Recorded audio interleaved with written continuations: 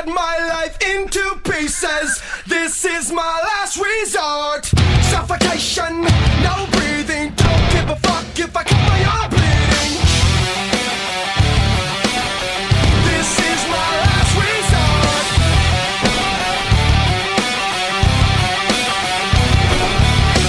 Cut my life into pieces.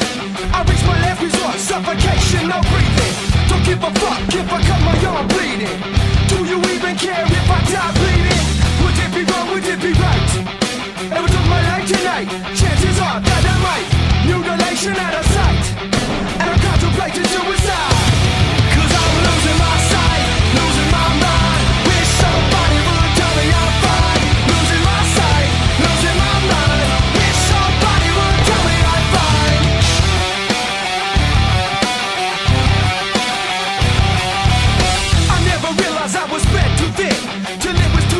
and I was empty within. Hungry, feeding on chaos and living in sin. Damn us, where do I begin?